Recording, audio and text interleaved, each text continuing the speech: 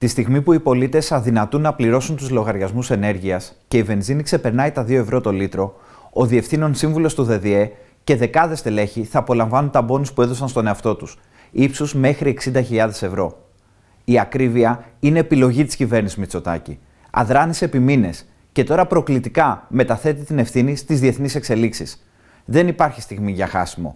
Άμεσα μέτρα καταπολέμησης ακρίβειας. Αύξηση του βασικού μισθού μείωση του ειδικού φόρου κατανάλωσης σε καύσιμα και φυσικό αέριο, μείωση του ΦΠΑ στα βασικά προϊόντα διατροφής, πλαφών στις τιμές ρεύματος και φυσικού αερίου. Αυτά τα μέτρα είναι ήδη πραγματικότητα σε πολλές ευρωπαϊκές χώρες. Τελευταία παραδείγματα, η Κύπρος, η Ιρλανδία και η Πορτογαλία.